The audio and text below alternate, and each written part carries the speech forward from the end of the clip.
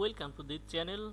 In this video I am going to show how to upgrade pip in latest version in Python virtual environment in Windows 10 machine. So let's start by opening CMD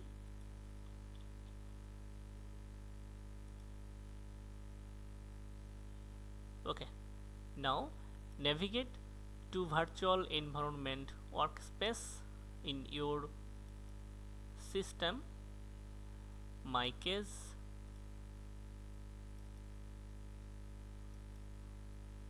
okay this is my virtual environment workspace.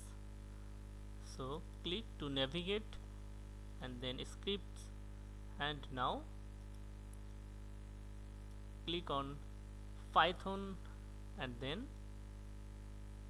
copy the location by this way. Okay now copy this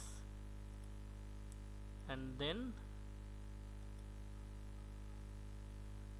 paste here and use this command dash m then pip install then dash dash upgrade then pip then hit enter and this command will upgrade pip version to latest pip version. Okay if you like this video give a like for this video and share your feelings by comments. Thank you so much for watching this video